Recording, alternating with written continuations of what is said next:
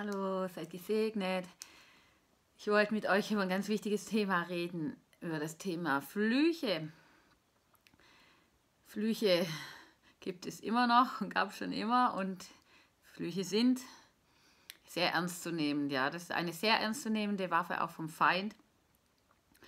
Und das Gegenteil von einem Fluch ist Segnen, ja. Und ähm, ähm, Fluch auszusprechen, auch über anderen hinterlässt immer Spuren, auch bei einem selber. Deshalb soll man das niemals selber machen, auch wenn wir das könnten, ja, dürfen wir es nicht machen, weil es für uns negative Auswirkungen hat. Also bitte niemand verfluchen. Ähm, manchmal äh, mischt sich das so ins Alltagsleben ein oder so, dass man so, so was denkt oder so losschickt. Ja, das ist, äh, ähm, muss man versuchen wirklich abzubauen, weil es ist wirklich gefährlich und Flüche haben, haben auf jeden Fall eine Wirkung, ja. Und äh, man wird, der Feind versucht uns immer wieder anzugreifen durch Flüche ähm, bei unserer Arbeit, auch wenn wir jetzt nur in Position gehen und für Jesus was machen wollen oder irgendwie, dann geht schon los, ja. Es, es ist nicht nur so, dass Menschen uns verfluchen. Zum Beispiel hat mich jetzt auch für diesen Dienst her, für das, also was ich da mache, hat mich jetzt auch schon eine, eine Frau hat mich schon verflucht, nein, Mann hat mich schon verflucht, ja. Ähm, ich weiß nicht, bewusst oder unbewusst, also schon bewusst natürlich, ja, aber wahrscheinlich nicht bewusst, wie gefährlich sowas ist und dass das auf einen selber zurückfällt. Und vor allem, wenn man, wenn man andere Dienste so angreift oder so, das kann sehr gefährlich sein, also für einen selber, weil man dafür Rechenschaft abgeben muss. Und ähm, also auf jeden Fall auch seine Feinde möglichst nur segnen. Das ist schwierig, ja, aber lieber segnen, ja. Deshalb hat Jesus seine Feinde auch gesegnet, ja, und, und vergeben. Also es ist besser wie jemand verfluchen. Und ähm, ja, ähm, Jesus ist derjenige, der den Fluch des Gesetzes von uns genommen hat, indem er selbst zum Fluch wurde, um Willen auf dem Holz, ja. Ähm, damit wir, damit der Segen Abrahams zu uns kommen könne damit wir durch den Glauben den Geist empfangen würden, der uns verheißen worden war. Ja? Vorher standen wir unter dem Gesetz des Fluches. Ja? Warum das? Ähm, das ging schon los mit, der, mit dem Sündenfall und da, für die Sünde wird man eigentlich verflucht, ja. Und es lastet, die Sünde lastet auf einem als ein Fluch, ja. Und ähm, sogar in die dritte und vierte Generation, wie in der Bibel steht. Es steht in 2. Mose 20, Vers 5 oder 34, Vers 7 oder 4. Mose 14, Vers 18 oder 5. Mose 5, da steht es, dass ähm, das tatsächlich so war, dass ähm, diese, diese, diese Sünde durch Fluch sich weitergibt in, in die nächsten Generationen. Aber in 5. Mose äh, 24 steht, dass ähm, Gott bestraft jetzt nicht die, die Kinder für die, die Sünden ihrer Eltern.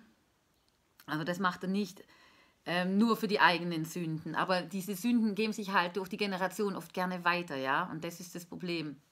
Und Gott hat gesehen, dass wir es nicht schaffen, ja, dass wir das Gesetz nicht einhalten können. Das Gesetz selber, das uns Mose gegeben hat, wurde so eigentlich zum Fluch für uns, weil wir es nicht schaffen, ja. Und deshalb hat er seinen Sohn geschickt, ja, und, und hat ihn, hat Jesus zum Fluch gemacht für uns, wegen uns, damit er all, uns, all diesen Fluch, diese Sünden auf sich genommen hat, auf dem Kreuz, ja, auf diesem Holz, damit wir frei werden können. Ja, der hat all unsere Sündenlast auf uns genommen, damit, damit all unsere Sünden getilgt sein mögen. Und äh, das ist schon eine krasse Nummer. Und in diesen drei Stunden ähm, Finsternis, ja, als Jesus gekreuzigt wurde, ja, da kam ja eine äh, dreistündige Finsternis über das ganze Land und nicht nur über das ganze Land, das muss im ganzen Universum stattgefunden haben. Und, äh, und ähm, steht da in Markus zum Beispiel ähm, 15, Vers 34 und in die neunte und als die sechste Stunde anbrach, kam eine Finsternis über das ganze Land bis zur neunten Stunde. Und die neunte Stunde rief Jesus mit lauter Stimme und sprach, Elohim, Elohim, lama sabachthani, mein Gott, mein Gott, warum hast du mich verlassen. Und es war tatsächlich so, dass Gott ihn verlassen hat, weil Jesus, weil Gott Jesus sozusagen da verflucht hat an dem Kreuz. Er hat alles auf sich genommen, jeden Fluchbann und Zauber, alles und all unsere Schuld und Sünde auf sich genommen. Er war verflucht für uns, ja, und er hat es auf sich genommen, um das endlich von uns zu nehmen. Und ähm,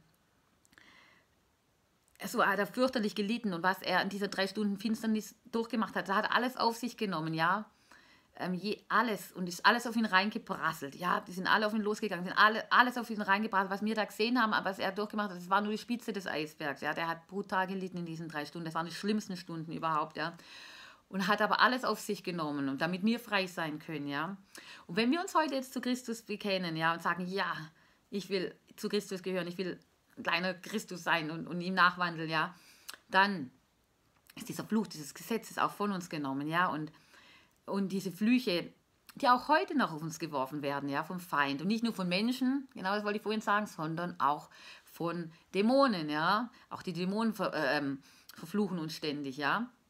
Also wenn die nur sehen, wir gehen jetzt in Position, wir wollen irgendwas machen für Jesus oder so, dann, bombardieren sie uns schon mit Ablenkung, mit Verstreuung, mit irgendwelchen Verzweiflungen und also mit allem Möglichen. Die, die, die wissen schon, wie sie es machen, ja. Die können einen so aus der Bahn werfen oder versuchen sie.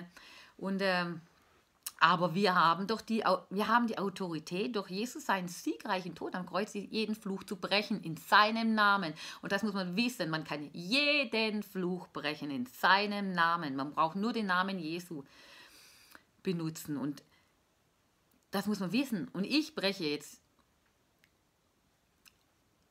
ähm, bevor ich in Position gehe oder bevor ich in, lange ins Gebet gehe oder sonst irgendwas, ähm, breche ich erstmal Flüche über mir, weil weil der Feind uns verflucht, ja. Ähm, es macht er, ja. Und aber es, es macht überhaupt nicht, braucht keine Angst haben für irgendwelche Flüchen, auch wenn uns, aber auch wenn euch jemand jetzt wirklich ins Gesicht flucht oder so, euch verflucht, ja.